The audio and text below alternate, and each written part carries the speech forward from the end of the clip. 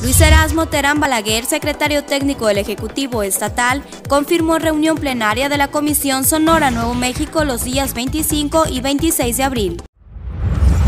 Al menos 25 personas murieron este miércoles en el derrumbe de un edificio de 8 pisos en Hong Kong, mientras decenas de personas quedaron atrapadas en los escombros.